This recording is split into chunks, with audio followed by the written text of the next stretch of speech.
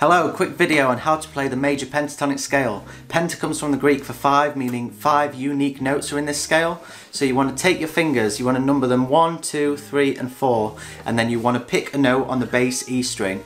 Hopefully you'll know your notes, if you don't, hear a few. G is at three, A is at five, B is at seven, C is at 8. Pick one, let's start with A, and you play the following pattern. So what you want to do is separate your fingers so they're covering one fret each, and you put your second finger on the note you're starting on.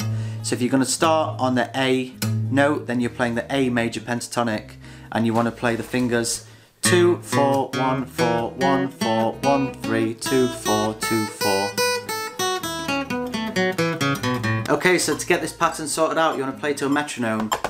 Try playing down strokes, up strokes and alternate strokes to get it sorted.